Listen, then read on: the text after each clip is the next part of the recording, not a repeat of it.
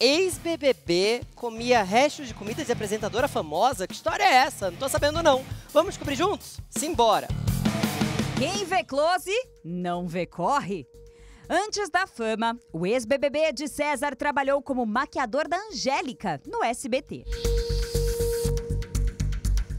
Em entrevista ao podcast Não é Nada Pessoal, de César revelou que passou por muitas dificuldades na vida e, por conta disso, comia o que sobrava da apresentadora. Nós encontramos com o ex-BBB no show da Joelma, em São Paulo, e procuramos entender um pouquinho mais sobre essa história. Que história é essa que você comia o resto de Angélica, o resto do almoço de Angélica? Eu passei por muita dificuldade.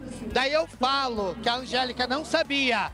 Ela almoçava o que sobrava, era o meu almoço, a minha janta. E daí saiu em tudo quanto é lugar que era resto. Não era resto, era o almoço da Angélica, era o jantar da Angélica, o melhor do melhor, que coisa que eu nunca tinha comer na vida.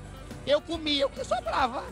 Mas ela, ela não sabia disso. Sabia, não sabia. Mas como é que você pegava? Você ia lá, pedia pra alguém? Eu era o maquiador, ela tava gravando. A gente entrava, a irmã da Angélica, a Angélica mandava a gente tirar a comida. A gente levava pra maquiagem e comia. Ah, tá, entendi agora. Não que você... era resto. A senhora dava o truque. Não, deixa aqui que eu jogo depois. Era isso. A senhora é muito rápida. A bicha era rápida, querida. Não, eu não dava a Elza, mas eu era rápida. A senhora, não, deixa que eu limpo tudo. O dia que era dia de gravação, a gente amava, porque a gente sabia que ia comer bem. Não tô morta nem nada, né, Bi? Velho? Então, tá explicado. Tá explicado. Um beijo pro César querido. E eu já vou ficando por aqui, deixando um beijo pra vocês em casa também. Muito obrigado pela audiência.